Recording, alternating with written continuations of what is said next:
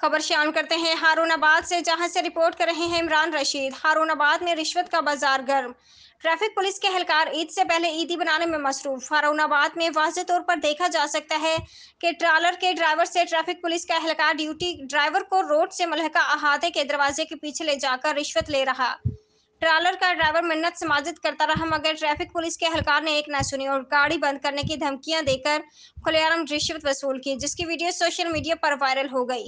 जराये के मुताबिक राव खालिद ट्रैफ़िक एहलकार ने भारी जुर्माने और गाड़ी बंद करने की धमकियाँ देकर रिश्वत वसूल की। अहल इलाका ने अहकाम से फौरी नोटिस लेने का आवाम मुतालबा किया है।